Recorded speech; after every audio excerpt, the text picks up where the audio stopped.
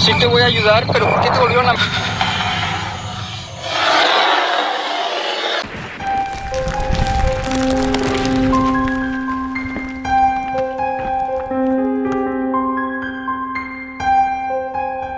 Halo guys, kembali lagi dengan gue Kaleb Andri. Nah, jadi kali ini kita kembali akan membahas tentang kasusnya Jonathan Galindo part yang ketiga. Nah, jadi mungkin kalian yang kelewatan part 1 dan part 2-nya, kalian bisa nonton video gue yang ini. Nah, di video itu gue udah membahas nih tentang kira-kira gambarannya Jonathan Galindo itu seperti apa. Nah, jadi karena banyak juga dari kalian yang request nih bilang, Kak Kaleb, Bang Kaleb lanjutin dong part 3, part 3, part 3. Nah, makanya hari ini kita akan langsung membahas saja part yang ketiga dari kasus ini. Nah, jadi sebelum kita masuk dalam videonya, jangan lupa dulu untuk klik tombol like, komen, dan pastinya subscribe dulu channel ini guys. Karena itu penting banget untuk support gue terus, supaya gue lebih semangat lagi nih untuk bikin video untuk kalian semua. Dan juga jangan lupa nyalakan lonceng notifikasinya, supaya kalian nggak ketinggalan setiap kali gue upload video yang terbaru dari channel ini. Oke guys, jadi tanpa berlama-lama lagi, langsung aja kita masuk ke pembahasannya. Kui kui, let's go! Jadi, gue ini udah berhasil lagi menemukan beberapa fakta-fakta dan bukti-bukti nyata tentang kasusnya Jonathan Galindo ini. Dan setelah gue telusuri lebih lanjut, ternyata kasus ini tuh semakin ke sini, semakin ke sini tuh semakin creepy dan menyeramkan guys. Nah, jadi seperti yang gue bilang kemarin di video sebelumnya, bahwa tentang Jonathan Galindo ini selain dia pintar hacking atau ilmu IT komputer, ternyata Jonathan Galindo ini juga itu memiliki kaitannya dengan hal-hal mistis atau satanik yang terdapat dalam dirinya. Dan hal itu gue udah jelaskan juga di part 2 di mana kita bisa melihat kalau si Jonathan Galindo ini seperti membawa kambing, beberapa ekor kambing sebagai tumbal untuk melakukan ritual mistisnya. Nah, kemudian sehubungan dengan patung-patung yang ada di rumahnya si Jonathan ini, yang patung-patung anak kecil itu, kabarnya guys, itu merupakan korban-korbannya Jonathan yang jasadnya itu kemudian dijadikan sebagai bahan eksperimen untuk dijadikan sebuah patung yang bisa hidup. Jadi patung hidup karena kalau kita bisa lihat itu patungnya itu seakan-akan seperti manusia nyata ya. Jadi matanya itu bisa ngikutin ke mana pun kita lihat. Misalkan kameranya geser gini, ya udah matanya ikut set, begini lagi set gitu loh. Tapi kepalanya itu nggak gerak, jadi cuma matanya nih, gitu. Gitu. Dan sebagaimana yang udah gue jelasin di part 1, si Jonathan Galindo ini adalah sebagai bentuk kekecewaan dari orang-orang yang mempunyai impian yang tinggi. Nah, jadi awalnya itu Jonathan Galindo ini, Jonathan Galindo, itu dia itu mau kayak ingin kerja, mempunyai impian untuk masuk kerja di tempat-tempat bermain seperti salah satunya Disneyland. Nah, tapi emang karena kekurangan yang dimiliki termasuk salah satu penyakit mentalnya, sehingga dia ini ditolak mentah-mentah oleh perusahaan Disneyland itu. Dan hal itu juga yang akhirnya membuat Jonathan Galindo ini terobsesi untuk memakai topeng yang orang-orang katakan topeng Goofy anjingnya Mickey Mouse. Nah kemudian kemarin gue berhasil menemukan lagi beberapa artikel yang menunjukkan bahwa sebenarnya Jonathan Galindo ini udah pernah ditangkap sama polisi karena kasus yang serupa di beberapa tahun yang lalu. Ya tapi mungkin karena udah beberapa tahun ya berlalu ini dan sekarang udah 2020 mungkin Jonathan itu udah bebas dan bisa dikatakan dia kembali melakukan aksinya lagi. Oke, dari beberapa hasil riset yang gue lakukan, di sini gue juga berhasil mendapatkan salah satu bukti video yang katanya itu merupakan teman-teman dari Jonathan Galindo ini ataupun orang-orang yang satu aliran dengan Jonathan Galindo di mana mereka ini melakukan aksinya yang sangat creepy di tengah jalan. Coba kalian lihat videonya.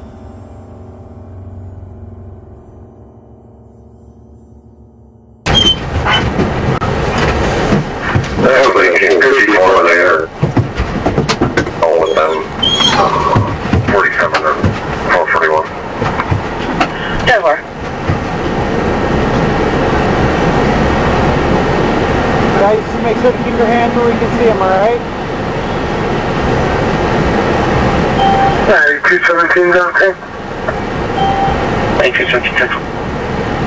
Why don't you guys come up to this barrier right here? Go ahead and put your butts against it. 634. Going to be on north at Buchanan with Wisconsin Auto. Nah, jadi informasi yang gue dapat dari video yang tadi itu, kabarnya itu merupakan teman-teman Jonathan Galindo yang melakukan aksinya karena mereka itu merasa dendam terhadap tertangkapnya si Jonathan Galindo ini. Dan ada juga rumor yang mengatakan kenapa mereka tadi saat melancarkan aksinya harus menggunakan kostum-kostum toko Disney ataupun badut itu supaya menciptakan image di depan publik seolah-olah nih tokoh-tokoh kartun yang harusnya lucu ataupun badut-badut yang harusnya lucu dan disukai anak-anak.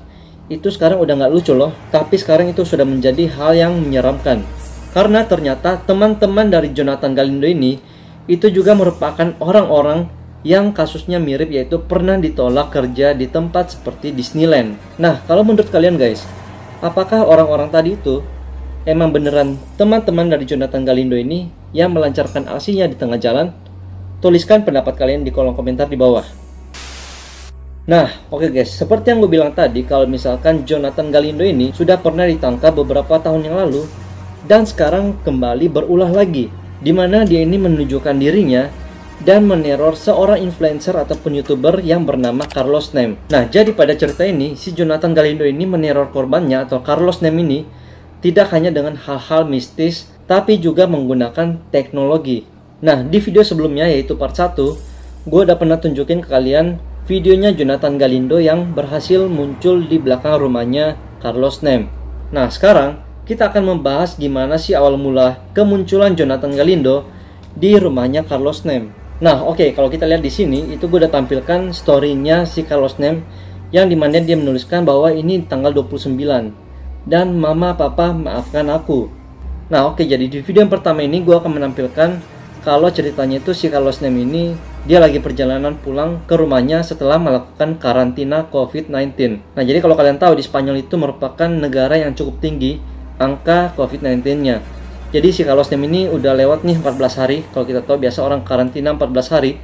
Nah, jadi setelah 14 hari di karantina, akhirnya Carlos Nem ini pulang ke rumahnya dan setibanya di rumah, Carlos Nem ini kaget karena mendapati bahwa di halaman rumahnya itu seperti ada pagar kayu yang menutupi rumahnya. Seperti ini videonya.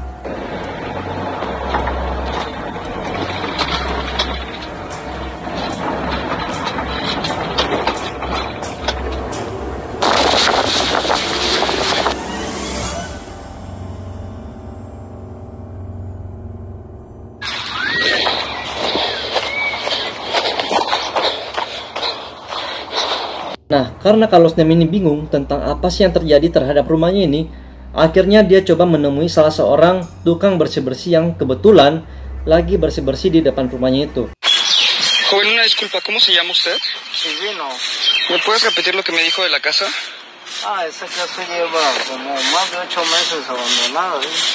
Oiga, ¿y sabe quién puso las láminas?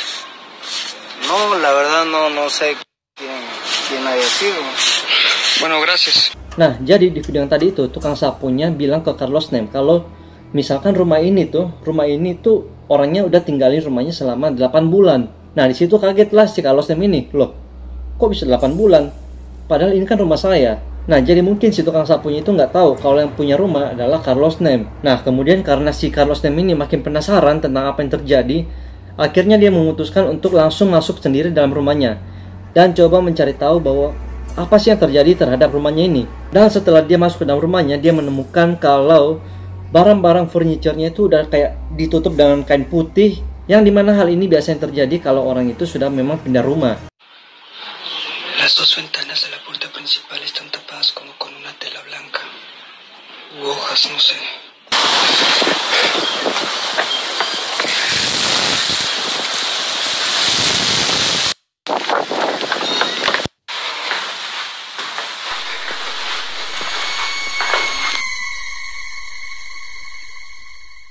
Nah, kemudian Carlos Nem ini menampilkan di story-nya kalau dia pernah mendapat lukisan dari ibunya. Lukisannya itu seperti ini. Tapi ketika dia balik ke rumahnya setelah 14 hari itu, dia menemukan lukisannya dalam keadaan yang seperti ini.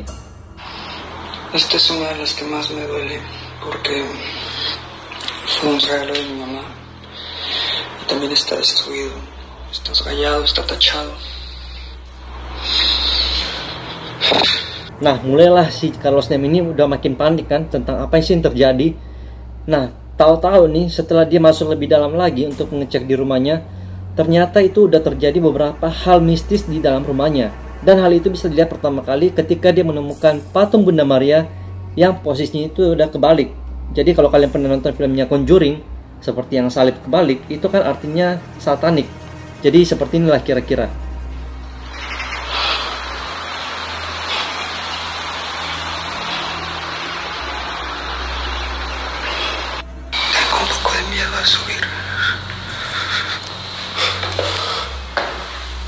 Gimana? Udah mulai creepy kan? Udah mulai makin serem nih si Carlos ini. Dan setelah itu dia masuk dan menemukan kalau itu tiba-tiba kayak ada suara televisi nyala dalam rumahnya padahal itu nggak ada orang di rumah itu udah nggak ada orang tapi kok bisa nyala televisi dan inilah yang terjadi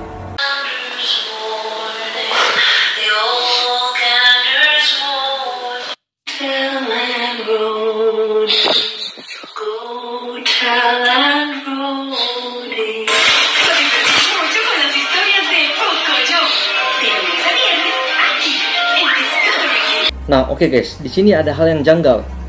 Yaitu kalau kalian memperhatikan baik-baik di dalam televisi ini, itu menampilkan salah seorang pria yang bisa dikatakan kalau wajahnya itu sangat mirip dengan si Carlos Nem ini. Ini gue coba tampilin mukanya sini ya, perbandingan antara kedua orang ini. Gimana guys menurut kalian? Apakah foto di samping ini emang mirip dengan Carlos Nem? Tuliskan pendapat kalian di bawah. Nah, jadi karena si Carlos Nem ini udah makin ketakutan nih, karena televisinya nyala sendiri, kemudian akhirnya dia memutuskan untuk matikan televisinya dan dia itu apa ya, menghancurkan gitu. Dia memukul-mukul sampai layar televisinya itu pecah.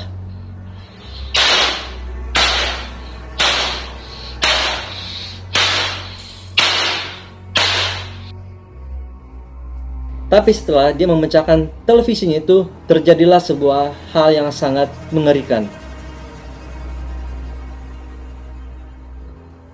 Nah, nggak lama setelah kejadian itu, si Carlos Nem ini langsung keluar rumah nih.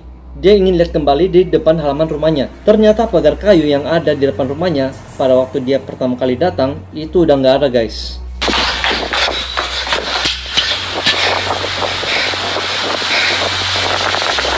Nah, kita langsung lanjut ke malam harinya.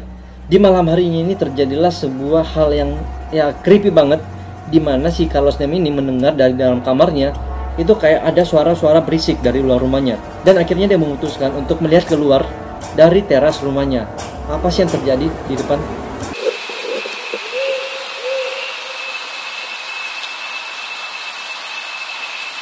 Nah, kalau kalian lihat tadi, si Carlos Nem ini akhirnya nggak menemukan apa-apa sewaktu dia melihat di luar halaman rumahnya. Tapi dia masih penasaran nih, itu kok tadi kalau dalam rumah itu suaranya terasa banget, tapi kalau di luar ya kayak sepi-sepi aja.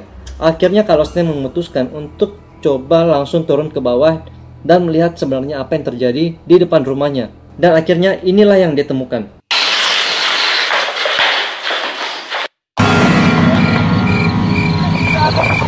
Sí te voy a ayudar, pero ¿por qué te volvieron a meter? ¿Cómo te llamas? ¿Cómo? Dime por qué, qué está pasando. ¿Por qué te volvieron a meter ahí?